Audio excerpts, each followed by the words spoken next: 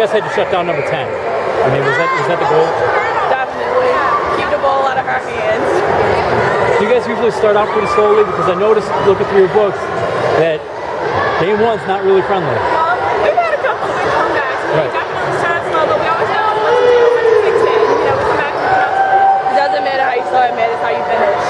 Now, what was the plan when you when you fell behind? I guess just keep each other going, pick each other up, you know, we can't let each other get down. You know, we know what we have to do to win, and we're trying to do that.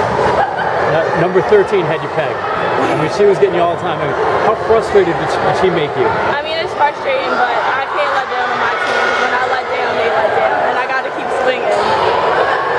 Anytime? I mean, did you lose any confidence? Not at all. We came in this 100% sure, knowing we had this game. We had this championship. We deserved it. We worked really hard for this our whole entire team. Does it make it any more special knowing that they were perfect last year? Now you guys are? Definitely.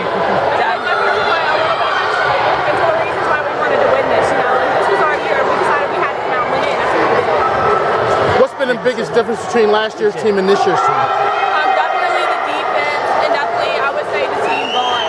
Yeah. We get along better than any team I've ever been on. We are family, I feel like that's what really helps us is that we, we're always we're, we've got each other back no matter what, like inside of volleyball, outside of volleyball, and that like definitely translates onto the court.